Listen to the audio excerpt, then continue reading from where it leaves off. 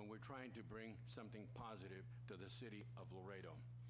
Let me tell you, we can't continue to shoot ourselves in the foot and compare us to McAllen and to say that, you know, things are so swell.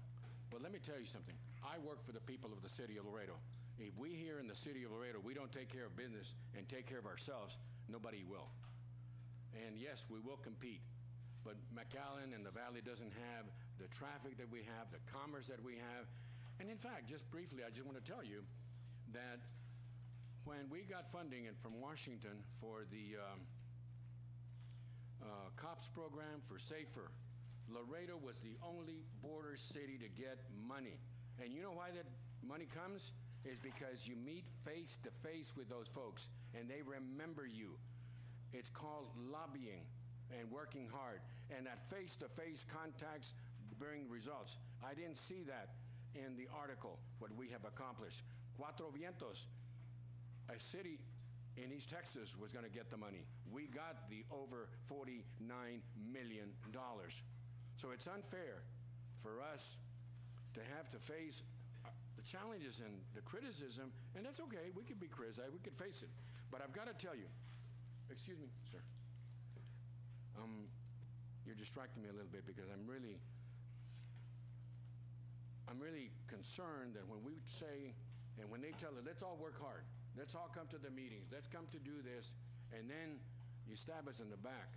That's not the way business is done. I'm proud to serve the people of Laredo, and it's a 24 7 job, and I'm proud of it. And these individuals that I work with, we get the calls every day, all hours of the night.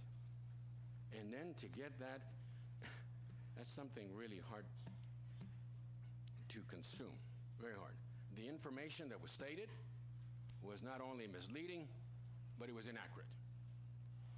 The city has had over 30 meetings, when we went to Austin, 30 minutes in three days.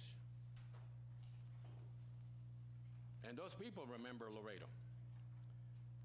McAllen doesn't uh, depict the success ratio, the COPS and the SAFER grants, where we got more than $8 million.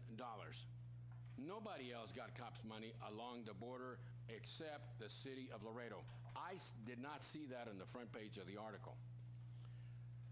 The Valley, McAllen invited uh, legislators at the expense of the Valley for three days and four nights. They sent staff from Austin for one day, but they had already uh, toured uh, legislators in the Valley a week before, and they brought their families, and the airlines was paid for them. So I think this is something that has to be said. Uh, let me just tell you that uh, they talked about the hotel bills. Well, everybody is in Austin. The legislature's in session, and the prices are what the prices are. And that's the way it is.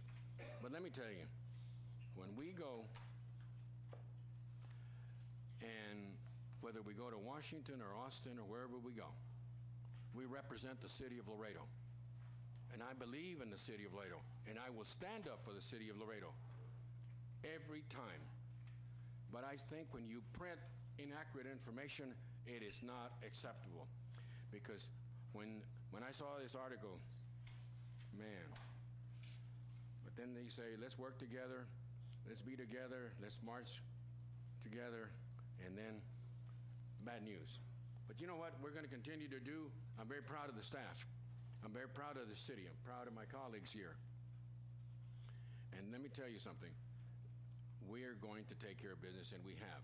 And Mr. City Manager, I would like to ask you and staff to, uh, I know that at one time we had an estimate of how, or how much, how many grants and how much money we received in recent years. When you talk about the airport, Mr. City Manager, when you talk about a lot of projects that we've gotten, and let me tell you something, it makes difference. When we were in Washington last uh, couple of weeks ago, we had a meeting with the new senator, Ted Cruz.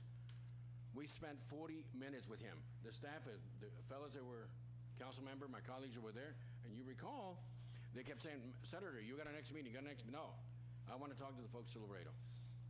And right now with the sequestration, it's even more important for us to, uh, to do our part and to do our lobbying. So I, I hope that, uh, I know that staff has already provided uh, uh, the media with the, uh, with some of the accurate information.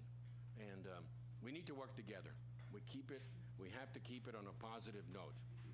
But I will tell you this, wherever I go, I always make sure that I make sure that people remember who we are and what we're about and what we're trying to accomplish.